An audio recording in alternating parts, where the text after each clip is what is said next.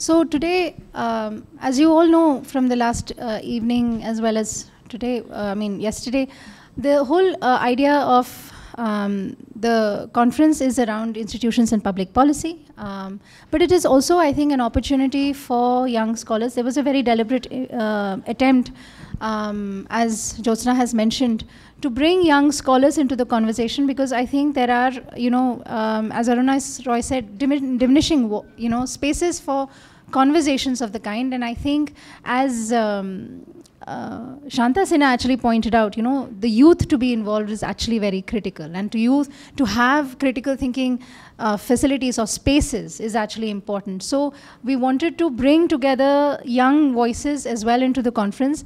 And we also wanted, I think, people experienced in the field to be able to provide certain forms of perspective to them as well as provide, you know, th there is uh, something about the mingling of the two because there are certain forms of new ideas and new energies, but also have the kinds of the weight of the experience that kind of provides, you know, uh, sort of directionality to those new ideas, energies, and hopes. Uh, so I mean, that's the idea of this panel as well, because we have actually very three very eminent scholars, and I think the young scholars here must, uh, I mean, you are very fortunate because I wish I had these kinds of opportunities when I was a young scholar to be able to hear and to have the opportunity for, uh, um, for you know, um, experienced scholars to hear your ideas and then to give you certain forms of feedback. And so I hope this conversation goes on longer than the one hour that we, I mean, the three hours that we have today. Uh, with that, let me introduce you to the panelists. Our invited speaker is uh, Dr. Srinath Reddy. He is an honorary distinguished professor at the Public Health Foundation of India, and he has been the president, uh, past president of the Public Health Foundation, and was formerly the Department of Cardiology at All India Institute of Medical Science, AIIMS. Uh, in March 2017, he was appointed as the advisor on health to the government of Odisha with the uh, rank of a cabinet minister. He's also an advisor on health uh, to government of um, government of Andhra Pradesh with cabinet rank from March 2020. Uh, he is a member of the Government of India Technical Task Force for COVID-19. Thank you, sir, for gracing us and for coming onto this uh, panel. I'll introduce uh, the other. Yes, please. Please do apologize. Uh, yeah, uh, welcome him to the panel. I would also like to introduce um, Mr. JVR Prasad, who is actually part of our uh, society and board. Uh, he is a former Union uh, Health Secretary, Government of India, and is a special advisor to UNAIDS. He was also the special envoy to the Secretary General of the United Nations on HIV/AIDS um, for the Asia Pacific region from 2013 to 17. And as Secretary for Health and Family Welfare from 2002 to 2004, he's made immense contributions to health sector's development and was instrumental in drafting the National AIDS Prevention and Control Policy and the National Blood Transfusion Policy of India. And he has been our ex-president of the CBPS board. We welcome you, sir, to this uh, wonderful panel. Thank you. Uh, Professor Vyasulu requires actually no introduction, but you, would you like me to give you one?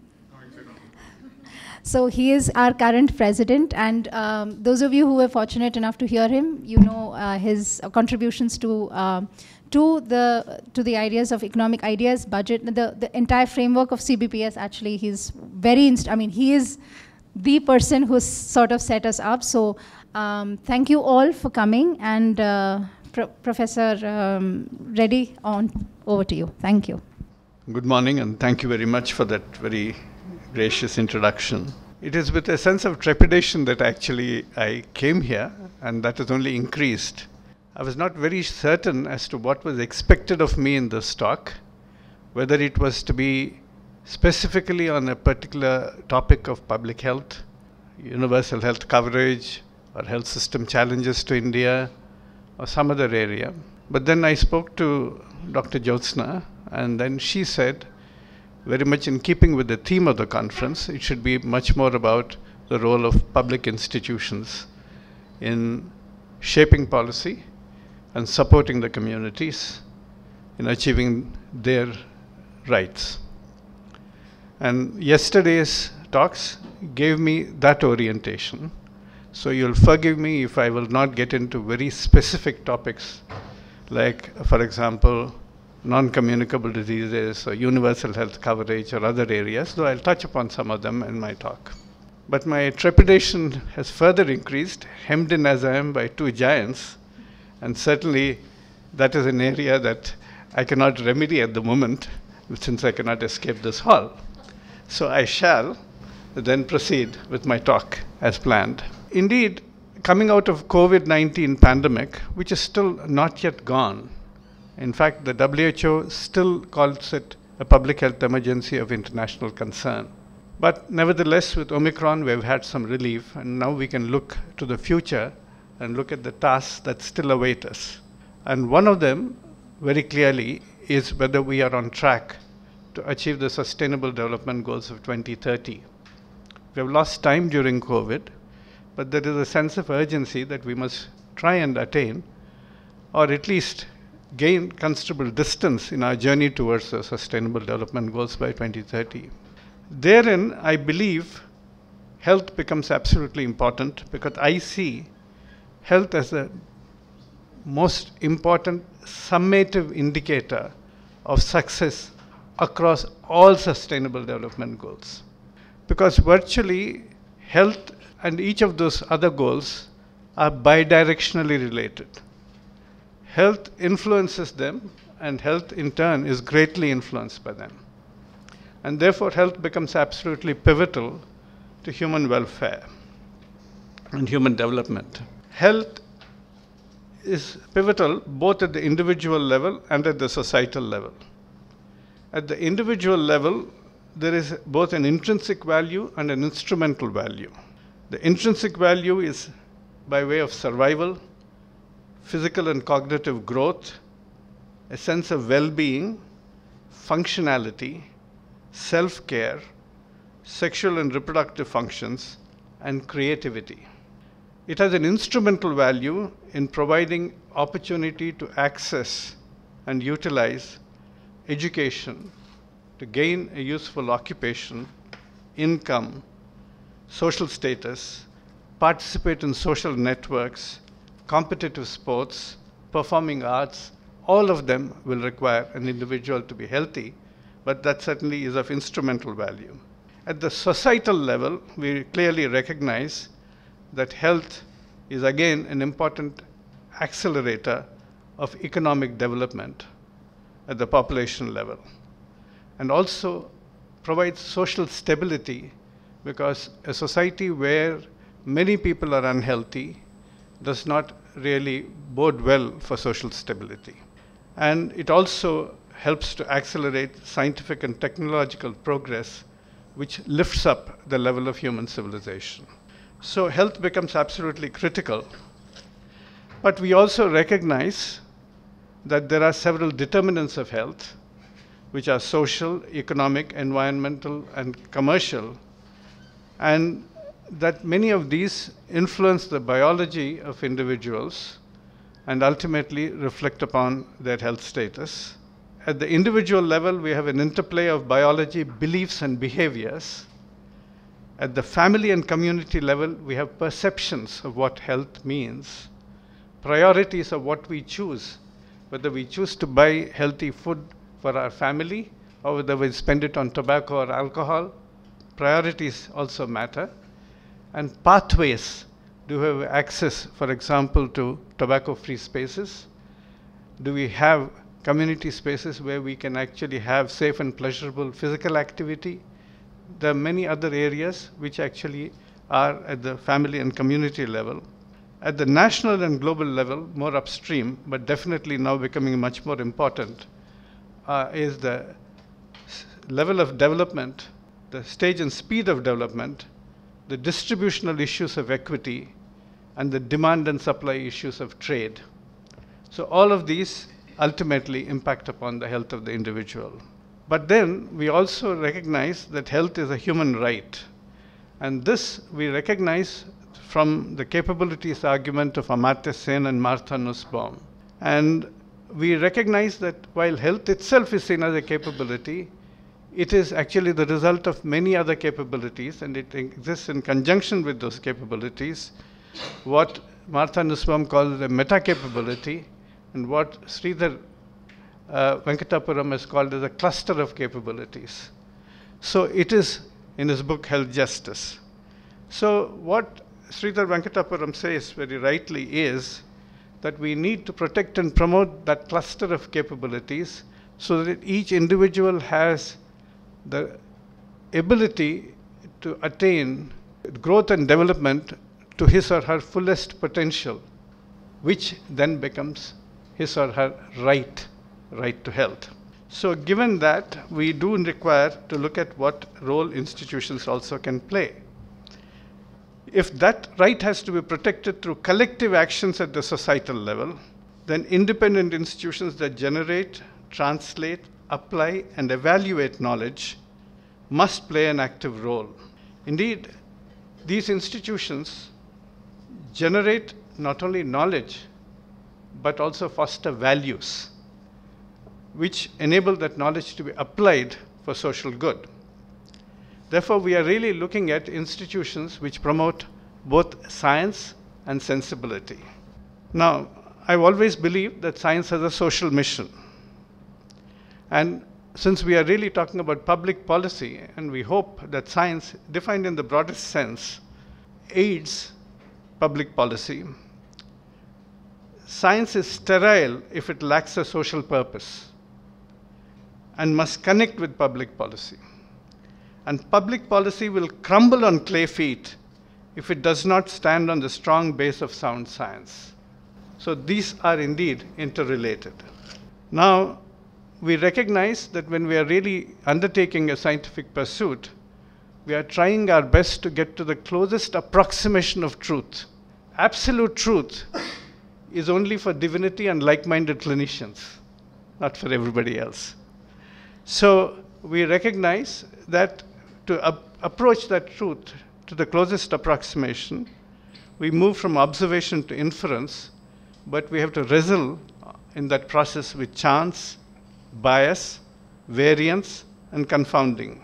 But now we are also having to deal with fraud, which is totally unexpected, but now very much an important factor that we have to look at. But then all of these help us to establish internal validity. But then we also have to look at external validity, which brings us to the context and how generalizable the results are. Then we have to look at replicability, because that is one of the canons of science that a single solitary study could have arisen by chance alone. Therefore, we look for replicability as well.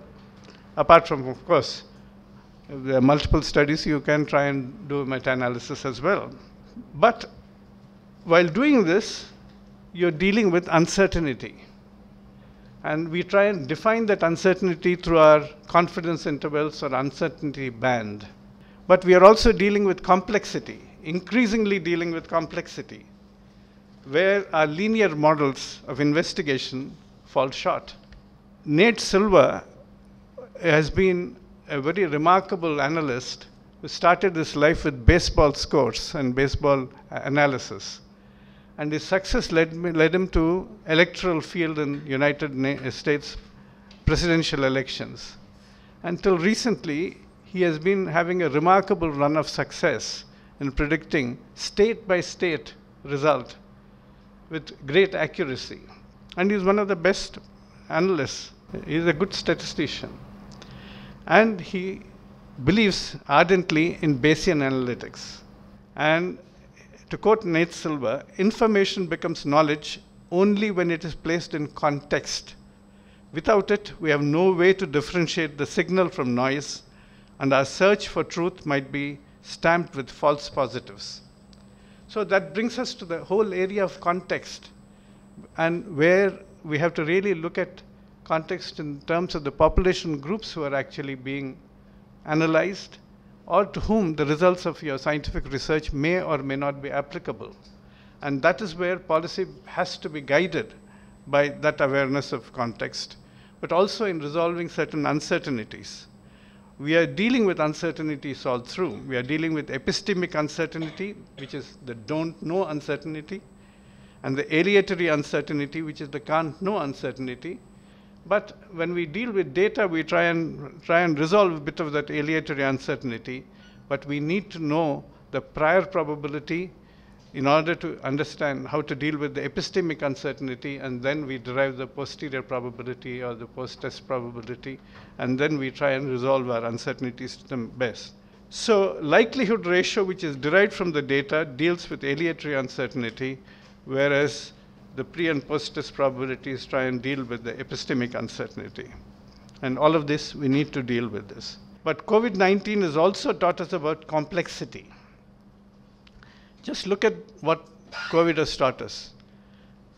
The virus and its variants, the speed which, which they have changed, the multiple forms that have evolved, including the Omicron family.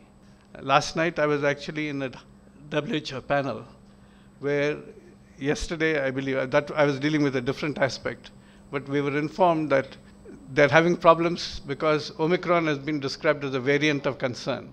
Now, all the subvariants and sublineages that have emerged have very low virulence. So they really can't be called variants of concern. So now they're trying to revise the nomenclature. So there is that complexity. The transmission dynamics, is it droplets? Is it uh, aerosol spread? Or is it both? Vaccines. How do you actually create vaccines from multiple platforms and how do you adapt them to emerging variants? What about drugs? Again, a variety, how effective are they as antiviral drugs or anti-inflammatory drugs? The non-pharmacological interventions like policies and practices, masks, lockdowns, behaviors, both of individuals and of groups, international cooperation, and the unknowns. All of these add to complexity even in COVID. And complexity exists everywhere. And unfortunately, much of our research has led us entirely on linear models of research, and we have never wrestled with complexity in the manner that we need to. Therefore, if you apply uh, systems thinking to complexity, we recognize that there are a large number of dynamically interacting elements, a wide diversity of elements. There is emergence of new variables from this interaction, unexpected variability, path dependence, self-organization, and resilience. Now, we have to deal with the fact that we still use our knowledge, and including the linear models, in order to identify the specific attributable associations and try and judge them by causal inference to the extent possible by applying other methods. But we must remember, in the context of complexity, that the spectrum of science is reductionist in content, but holistic in context. Unless we understand the context, we can never apply it and utilize it the manner it ought to be. So, what is the purpose of research in health? I believe the purpose of research in health is to provide evidence informed, context relevant, resource optimizing, culturally adaptive, and equity promoting recommendations for policy and practice. I'm not saying evidence based, because evidence based has acquired a particular meaning, quite often rest, resting around randomized control trials. Randomized control trials are not the only way we get evidence. I mean, apart from qualitative research and quantitative methods, which again are important, there are so many other methods, including observational methods, including hypothesis generation, ecological studies, all of which we probably need to take into account. Therefore, I'm using evidence informed, including experiential wisdom of communities. Context relevant, I'm not saying context specific, because there could be similar contexts to which the knowledge is transferable uh, or portable.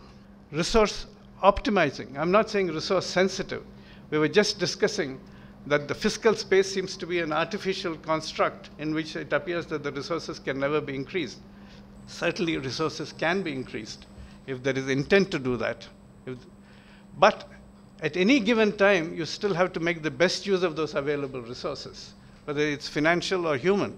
So it has to be resource optimizing and culturally adaptive, compatible to the extent, but culture is fairly dynamic and potentially changes, and therefore it's culturally adaptive. And equity promoting. I believe evidence and equity are absolutely essential and they should be seen as sine qua non. But then again, there was some discussion yesterday on how evidence is related to policy. We must learn to recognize that there is evidence for policy and evidence on policy, which are somewhat different. Because, for example, if somebody asks, should we have taxation on ultra processed foods? Should we increase the taxes? The immediate question that comes from a policymaker is where is the evidence? Who has tried it out? Then we have to say, okay, is it sound economic theory that if you increase taxes, probably the consumption will go down? Of course, there are limits of elasticity. Also, is there analogous evidence? When taxes were increased on tobacco, did not tobacco consumption go down, and which are the countries where it went down? And secondly, if there is a clear-cut risk association of ultra-processed foods with harmful health consequences, should we not try and reduce the consumption by taking this measure and then evaluating its impact rather than do nothing? So those are the kind of arguments we may have to marshal for evidence for policy. But once policy is initiated, you still have to definitely evaluate the impact, and that's evidence on policy as it is being implemented. Now, in terms of Policy. What does policy need? Bismarck, the German chancellor, said uh, of the 19th century, said there are two things that should not be watched while they're being made sausages and public policy. so, pretty messy. Uh, but nevertheless, even enlightened policy, which is not capricious policy, needs scientific credibility. It requires evidence and rationale. So it requires biomedical research, epidemiological research, and clinical research. It needs financial feasibility. Is it cost effective? Is it affordable? So it requires health economics research. Operational stability. Is it operationally steerable through the system that exists? Is it sustainable? Is it scalable? It requires health systems research or implementation research. It also requires political viability. Is there a ready and receptive constituency to accept it among the policymakers, among the practitioners, among the public? Who is opposing? Who is supporting? So, what are the barriers that the policy is likely to make in terms of social resistance? Now, that requires social science research. So, when we're talking about scientific credibility, financial feasibility, operational stability, and political viability, it's absolutely clear that we require multidisciplinary research. And we cannot really make viable policy without undertaking that. Now, this brings us into the need for looking at multiple streams of data and how best to coalesce them and combine them to make the max, best sense out of it. Now, that is where, unfortunately, many of the existing institutions of the state do not provide that opportunity for creating a broad platform for bringing in all of the data together and understanding how the data, data sets play with each other, interplay, apart from the context, of course.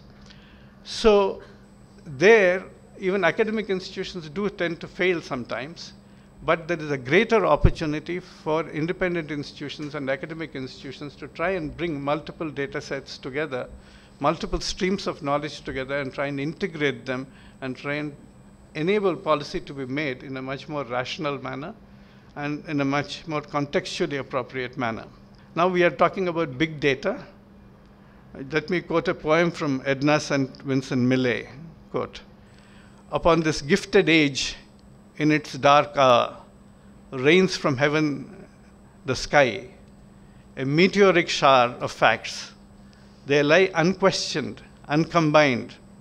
Wisdom enough to leech us of our ill is daily spun, but there is no loom to weave it into a fabric. And that is where institutions must come together as the loom to weave that into a fabric. A fabric of knowledge which brings the best of learning from multiple disciplines, multiple research enterprises, and sets it in the context and tries to reduce the complexity or at least adapt the knowledge to the complexity that is there so that it can actually feed into policy and into practice. Now, why uh, do we need independent institutions? Is the state not capable of doing it on its own. There are multiple areas of data generation from state agencies. And we have plenty of them around, and I'm not going to get into which of them is better or which of them is valuable. All of you are analyzing them. The NFHS, NSS, all of that you're analyzing day in and day out. I'm not going to get into those. But Rukmini S, in her book, Whole Numbers and Half Truths, says there are five cardinal sins in data infrastructure not collecting essential data, not collating or publishing existing data in usable ways, obfuscating or suppressing some data, overselling data well beyond what it really says, and knee jerk criticism of inconvenient data. Now, we see this happening all through, and not only by the state, but by others too. So, but particularly when we are dependent upon state agencies for supplying the data, when I'm, then we have challenges because we are unable to verify much of the data that's connected. And there, it is absolutely necessary that independent agencies both critique the data where possible or collect data which is independent and verifiable so that they can actually provide a picture which may be closer to the truth.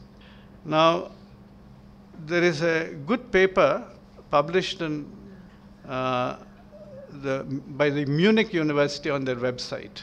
I was wondering why University of Munich, but Shama Nagarajan and others in 2018 published this paper, uh, Challenges of Health Information Systems in India. The challenges identified at the national level are different sources, divergent figures, methods, and periodicity being variable. And for example, NFHS and the HMIS data have disagreements because of differences in methods as well as differences in periodicity. Non-standardized, decentralized procurement of national uh, human resource information. It is such a difficult exercise to find out how many doctors are actually there in India, how many of them are actually within the system functioning, how many are dead or retired, how many have gone abroad. These numbers, and similarly about nurses, similarly about others, because multiple data sets are actually conflicting with each other, and you have different analysis coming from different data sets. Lack of centralized mechanism for linking data across sources data dissemination and utilization challenges. These are at the national level. Issues at the subnational level are lack of private sector data, because quite often the state collects data from its own agencies, and much of the private sector data in health is totally a black box. You don't know anything about what's happening in the private sector. Whether it is even for notifiable diseases, they don't always notify. And for many other conditions, you just can't get information out of them. Uh, then limited disaggregation of data. That's another major problem. Uh, we do not have district level, block level data, and quite often that becomes important as well. Issues in data compilation and uh, analysis, lack of training on probing skills, shortage of staff, intrinsic data quality issues like methodological issues, data triangulation issues, inconsistent data definitions across survey rounds. I'm not going to go into this. You might actually look at the paper from the website. It's available from the University of Munich website. You, you can Google it and get it. But it's very good. The other question that comes up about is since we are dealing considerably with health and also economic development, particularly in this institution. There is a clear-cut bidirectional relationship, as I said, population health and economic development are very much related, and poverty and ill health at the individual level are related.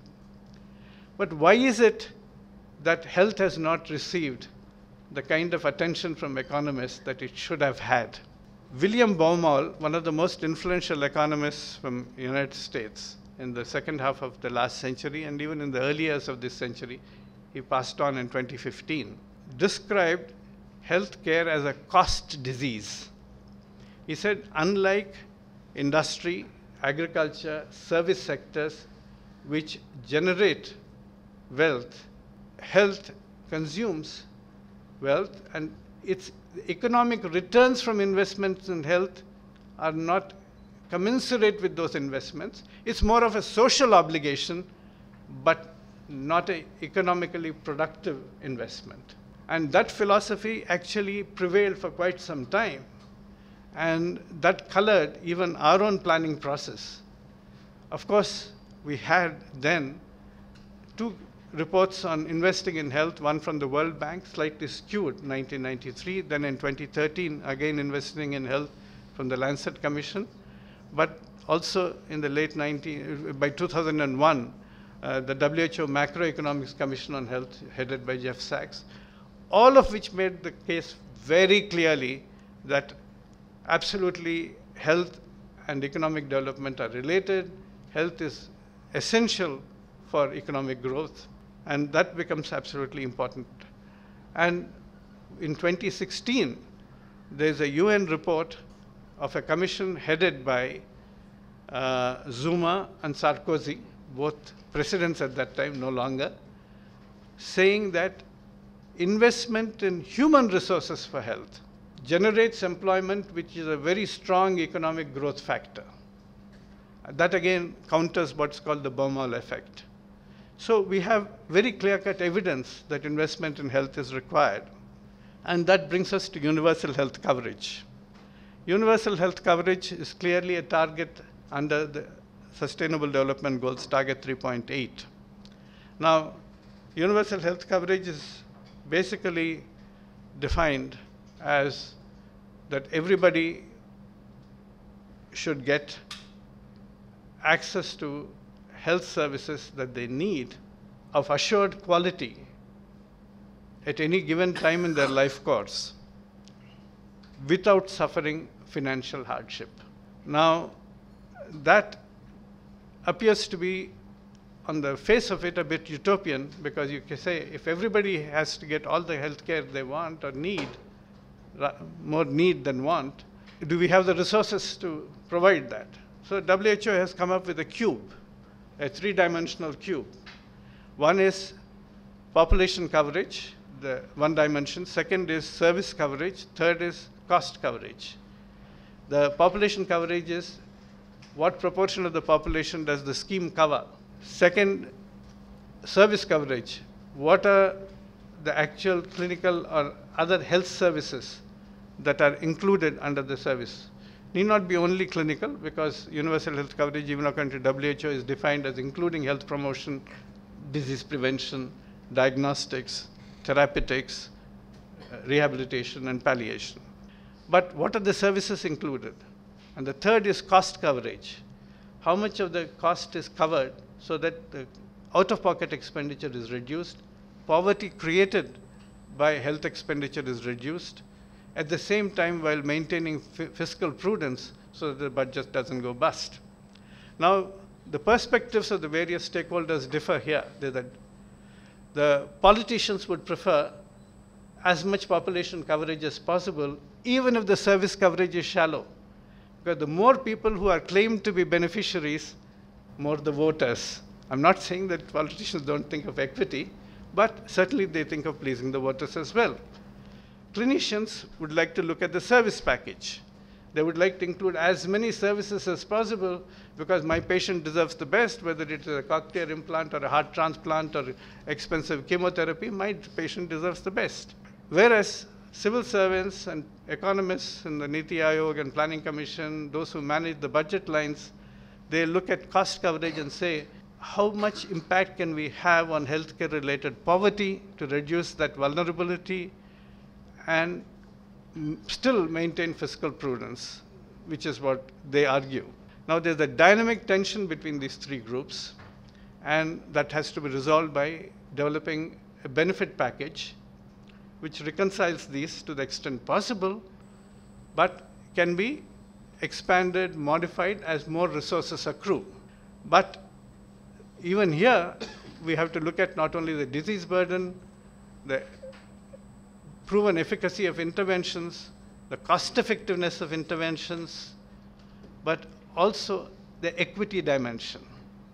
Because quite often people only look at cost effectiveness. But we have to look at the equity dimension and we have to look at it from a point of view of two dimensions. The equality, which is horizontal equity, where everybody gets all the same similar services. And those who have been disadvantaged, who have suffered health inequity, they have to get additional services or additional resources, which is the vertical component of equity. And you need to reconcile all of them in your package.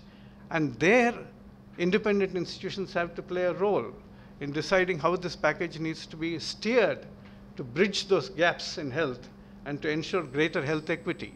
Otherwise, you can have one size fits all uh, type of uh, recommendation. So those become important as well. Now, as far as the UHC indicators are concerned, we are really looking at the level of financial protection as well as service coverage. Financial protection measured by out-of-pocket expenditure and catastrophic health expenditure and healthcare related poverty. But service coverage is also important because if you have very low service coverage, you can have an artificially low out-of-pocket expenditure because then you have foregone care.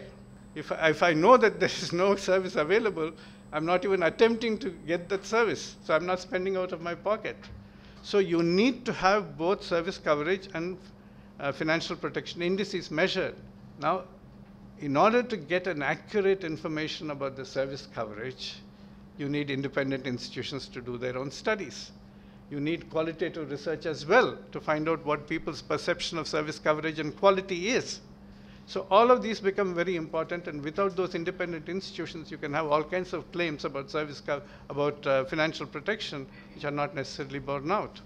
And even in financial protection, we know that incomplete levels of financial protection were not particularly helpful in schemes, whether it's RSBY or even PMJY, where you still have a lot of out-of-pocket expenditure, a lot of additional costs imposed by the hospitals who are there, and we know that between 2004 and 2014, according to Shamika Ravi's study, that uh, from NSSO studies, that 7% of the population was still being pushed into poverty in 2004 because of unaffordable healthcare expenditure, and 7% again being pushed into poverty in 2014 in, because of unaffordable healthcare expenditure.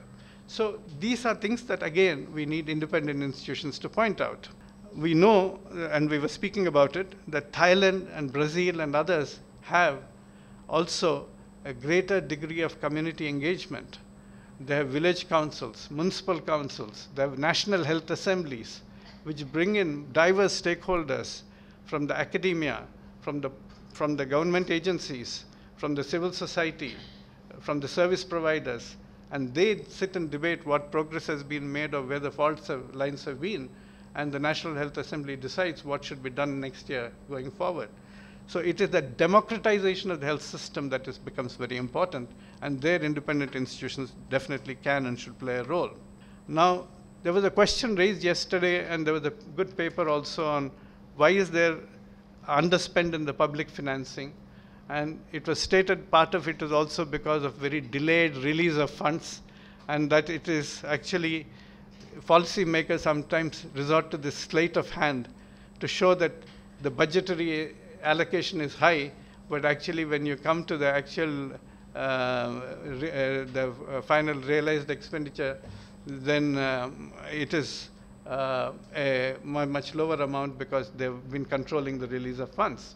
Beyond that, there's another reason. If you have a very weak health system, understaffed, under-equipped, you cannot utilize the funds that have been allocated appropriately, utilize them in time or utilize them appropriately. So you have very little manpower, you have no equipment, you have uh, stockouts because of poor supply chains. Even the funds that are allocated will not be utilized. So there has to be a front-end spending in order to strengthen the health system, in order to increase its ability to absorb and utilize. And that is an argument, again, that has to be made to the policymakers and independent institutions are required to do that.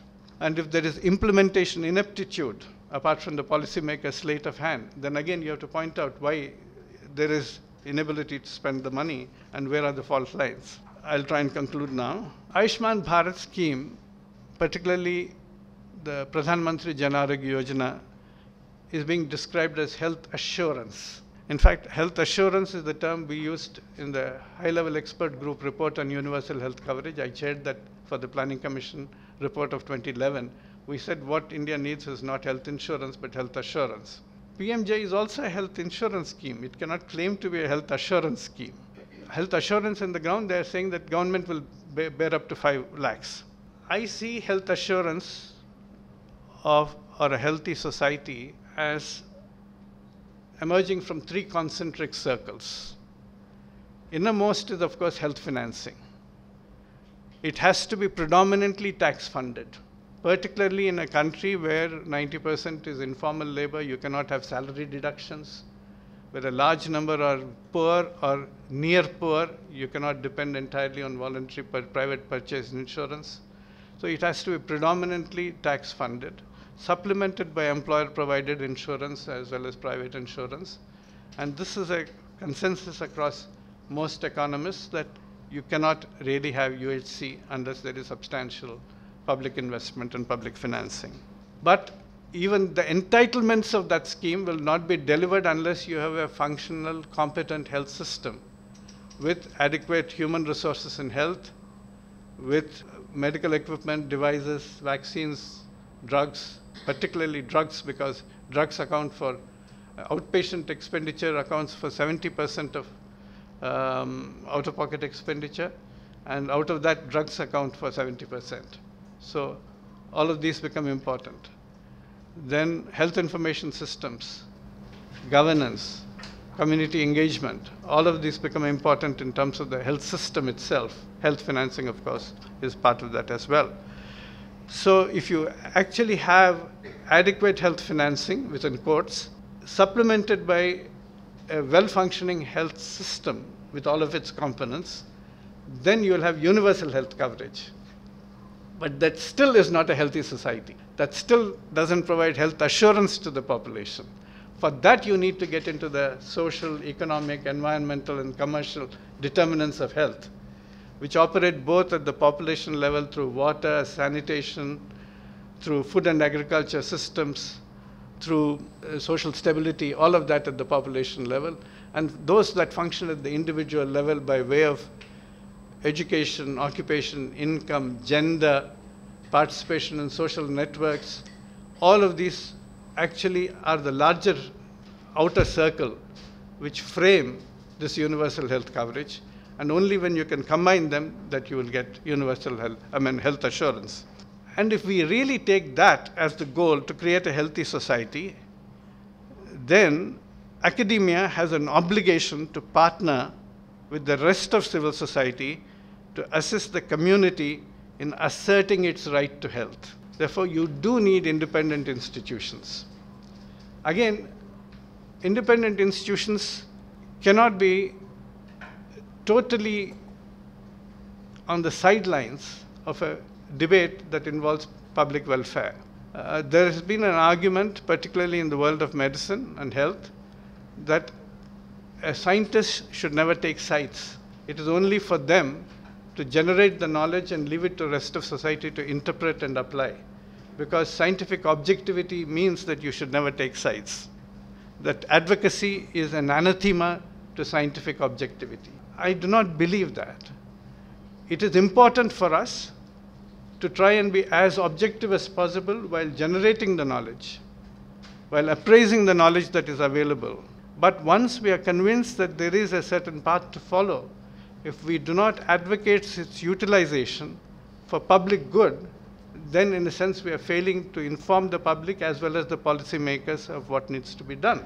Louis Pasteur so advice to his young researchers is very relevant here. Louis Pasteur told his young researchers, keep your enthusiasm, but let strict verification be its constant companion.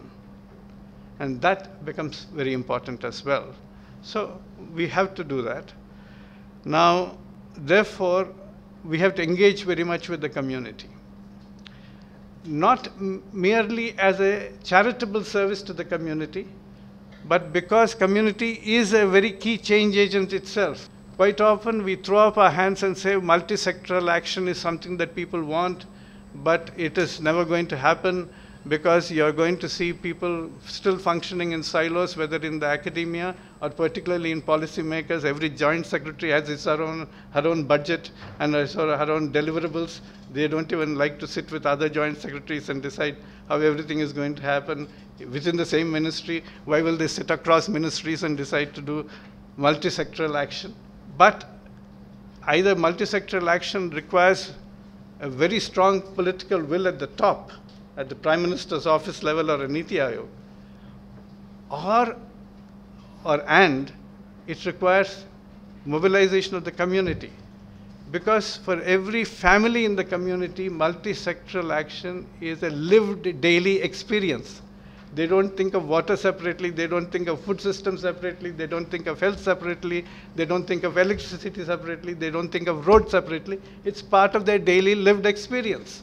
So the community can actually generate the momentum to create that multisectoral convergence, particularly in primary healthcare settings, but can even radiate upward.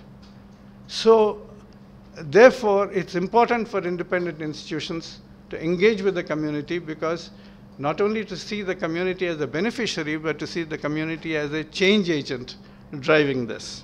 So there is an action almanac assemble allies, adopt an agreed agenda, amplify advocacy, accelerate action, and assert accountability.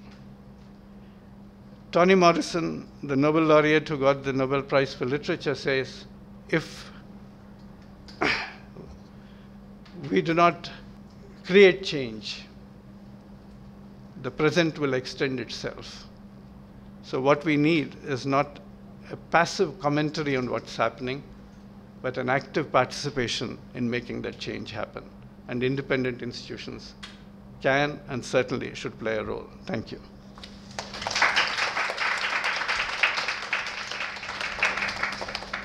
Thank you, sir. That was, uh, I mean, if there was ever one, there was, that was a masterclass on health uh, and covered, um, I think, everything that we would ever want to know about health, as well as, I think, uh, provided so much uh, rich insight, not just, you know, I think uh, yours was definitely a multidisciplinary conversation because it covered poetry, it covered um, the social, the economic, um, the governance. Uh, and also, I think pro probably, I think we have a lot of, I'll provide some space for, I mean, we do have a lot of time and you've really covered so many things. So we would, I'll open the floor up for question and answer sessions and I'll like to end the session with comments from Professor Vyasulu and JVR Prasad Rao. So, um, because I don't want to uh, take up too much time, uh, the first question. Thank you very much, sir, for this uh, excellent uh, discussion. I'm, I'm Ranjini. Uh, um, this question is about ASHAs, ANMs, and health volunteers. They are the uh, foundation um, in, in, this health system. They play a very important role um, in community health, population health, uh, towards uh, uh, universal health coverage. But policy makers have uh, to an extent failed to improve their work conditions, their capabilities, and of course the uh, issue of their pay. So what can be done to improve their uh, condition? ASHAs and ANMs are concerned, we should separate them out because ANMs are seen as part of the health system. They're paid employees. ASHAs have been described euphemistically as volunteers, though they're paid a stipend now. Initially, they were not even paid, paid a stipend. Uh, before the 2014 election, uh, they were given 500 rupees because there was a demand, and uh, but that was also given as a sort of uh, stipend. Uh, they were being incentivized for immunization and institutional deliveries, but were, the argument against making them identified part of the official health system was that they will unionize like the Anganwadi workers. So don't consider them, still call them volunteers. Now, that's a problematic area, but nevertheless, I think they ought to be recognized. They need to be protected even during COVID. Uh, I mean, they had did a tremendous amount of work. Of course, they got the WHO award, But uh, on behalf of the National Human Rights Commission, when we actually interviewed the Ashas, uh, the, uh, the kind of uh, travails that they had, not even getting PPEs, not getting anything, uh, so that was problematic, no, no, not, even getting sick leave. So they certainly need far greater attention. ANMs too, for that matter. But one of the things that we also must recognize is that now they are being asked to do a lot more. India's health transition means that non communicable diseases are on the rise. Previously, we, ASHA's responsibility was in the National Rural Health Mission tailored only to the agenda of the MDGs, which meant maternal and child health, some infectious diseases, and they were being uh, incentivized for institutional deliveries and immunization. Now, with comprehensive primary health care finally being adopted, and this is, is the effect of the SDGs, that you are now looking at NCDs, which are very dominant, mental health issues. Therefore, the area of work has expanded tremendously. One ASHA can't manage all that. Uh, in fact, every time a discussion in the health ministry, everybody who is dealing with a particular program, whatever the program is, wants it to push it onto the ASHAs. Whereas the ASHAs already have a tremendous amount of workload. So I say, not, not in any derogatory fashion, but purely in a realistic fashion, that Asha is the goddess of all hopes, but the beast of all burdens. So we need to ensure that the number of Ashas are increased. In fact, in our HLEG report, we wanted two Ashas per village to one to take up non-communicable diseases and things like malaria control and others. Uh, Dr. Abhay Bang, who is a member of that commission, committee, said, okay, we'll call one Asha and one Ashok. Didn't happen, of course. But uh, ANMs too, we need, everybody has recognized that you require two ANMs. Um, so we need to increase them uh, in numbers, but also increase their salaries, social status, and skills, and of course skills. And particularly technology-enabled ASHAs and ANMs can really do a lot of wonders even for non-communicable diseases, diabetes, hypertension detection, management. Hello, sir. My uh, sir, my name is Yogesh Misra. Sir, I want to ask uh, that uh, in uh, last parliamentary session, a private member bill was introduced uh, for the right to health, although it was withdrawn later in a, in the next session. Uh, do you think that right to health as a fundamental right will create more community participation? As we can see in the case of right to education, uh, we had provided uh, uh, primary education as a fundamental right. So uh, community uh, community ha can have this right, and seeing this mere beneficiary, we can change the discourse as an entitlement. Can can it help the system to be more robust? Well, there's been a lot of debate on right to health, whether it is just part of the directive principles or whether it can be interpreted in the context of right to life. It is already inherent in the right to life, and whether it needs a separate right or not. There is a belief that it's good to have a right to health enacted because it not only cover the right to health care, but also right to health in the broader dimensions of health in terms of the determinants of health. I mean, you can invoke it for air pollution, you can invoke it for industrial disasters, you can invoke it for so many things. But the reticence has been uh, among the policymakers that it's a difficult right to deliver upon. So that's why they fight shy of it. But I believe, like many progressive Latin American countries and others, we ought to enact the right to health. Uh, Rajasthan is doing something about it now. Rajasthan has a right to health bill. Uh, thank you, sir, for the excellent speech. Um, you covered a lot of uh, areas, like uh, said. You took us on a journey through policy, science, and uh, other areas. And especially, my key takeaway is um, on the thing about science that you said. Uh, science is sterile if you if there's no mission. I think oftentimes scientists forget that uh, what they set out to do. So my question. Can you introduce yourself? Yeah, sorry. Oh, sorry. I'm Geetanjali from LEAD. Um, so uh, my question to you is, sir, um, someone who's been on both sides, uh, in the science area, uh, uh, public health domain, and in the policy making space. Uh, sh- Not making space, sh- uh, yeah, shaping policy shaping space. okay. Um, policy screaming space. where do where do you see we are as a country in adopting health technologies? I know there are more basic uh, issues, but uh, I think technology can also scale up some, of the issues that we have. Uh, where we are in adopting some of these. Well, I think health technologies are important, valuable, and are receiving a great deal of attention. Uh, partly because they are seen as useful for bridging many of the gaps in access, quality, and affordability of health services. Telehealth, for example, was illegal before COVID, but it was rapidly legalized during COVID. And now Digital Health Mission is not only looking at things like electronic health records and medical records, but looking at telehealth services, uh, looking at uh, management services, uh, like looking at uh, monitoring drug supplies, preventing stockouts, uh, enabling health insurance payouts. All of that is being digitally enabled. But a lot of technologies can be very helpful, especially technologies for primary care, point of care diagnostics. If you can take primary care to home or close to home and, and have many of the conditions diagnosed and treated, uh, that will be absolutely great. I think there is a fair amount of energy behind uh, the move to deliver on uh, some of the technologies to the digital health mission and otherwise. And there are so many young tech entrepreneurs wanting to develop technologies.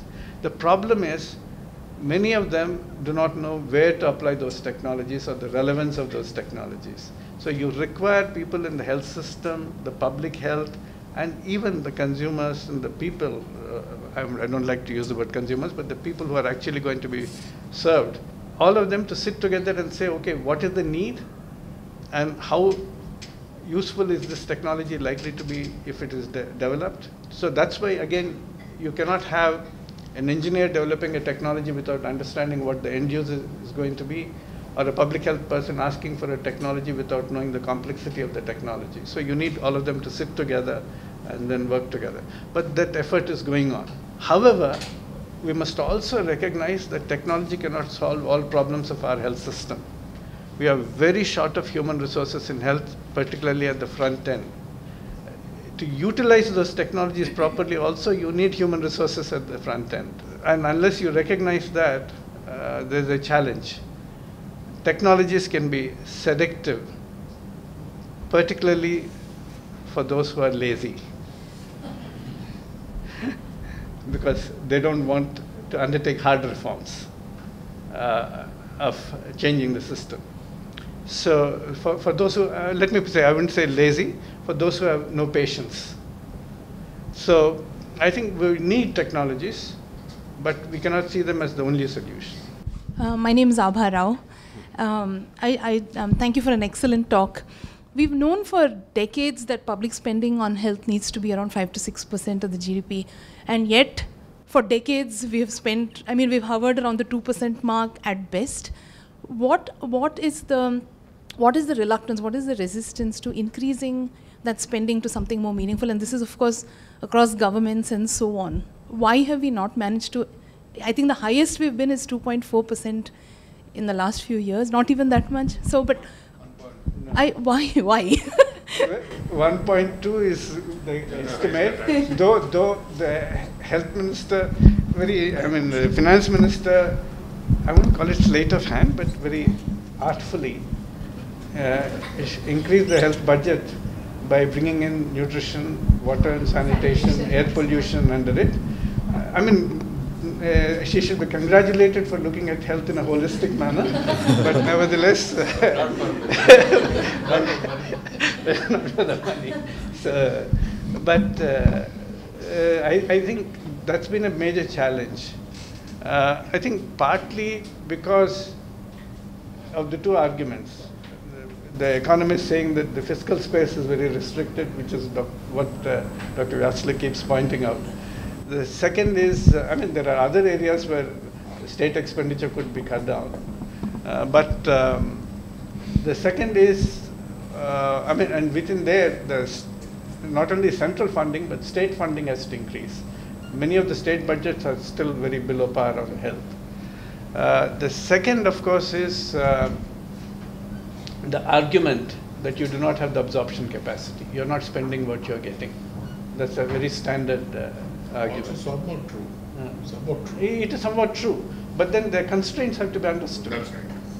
Why is it that it's not being spent?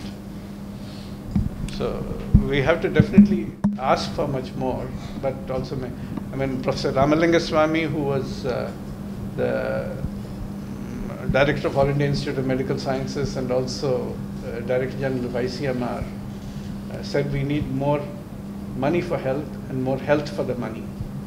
Uh, that was when he was uh, a member of uh, International Commission. Uh, that was borrowed later on by Gordon Brown without attribution. Uh, hello, sir. Uh, this is Sudrip. Uh, I'm a student of public policy, and uh, it was a nice session with you. And my question is that, uh, as you know, that today in today's uh, time, that the Unani, homeopathy, Ayurveda, these are getting you know quite in the verge of extinction.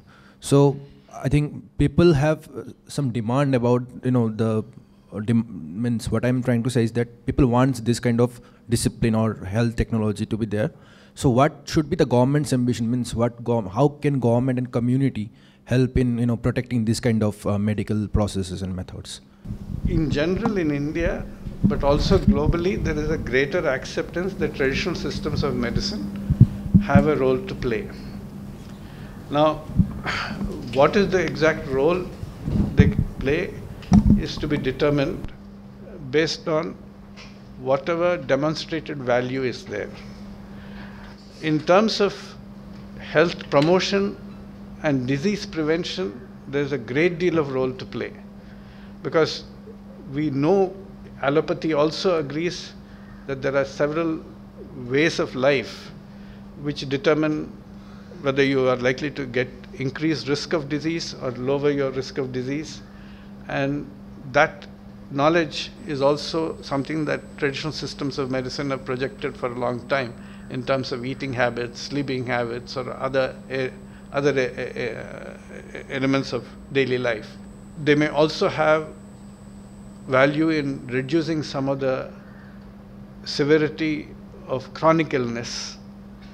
That also, I mean, obviously, some acute infections, surgeries, they will not be able to deal with it straight away. So we'll have to recognize where they can be useful, where they may not be useful. But I think the idea of complementary systems of medicine and trying to see where the added value can be there from either, that would be very helpful. I think the actual scientific credibility of these systems will go up uh, if we can actually do proper research while being respectful of the fact that some of the traditional tools we use for assessment may not necessarily be applicable there. You may have to do different types of studies, N of one trials and things like that, rather than you know the classical uh, studies. But again, science is pushing us towards that wisdom because you're talking about microbiome. You're talking about trillions of bacteria living in the gut who are determining your nutrition, who are determining your immunity, you're determining a lot of things about your body.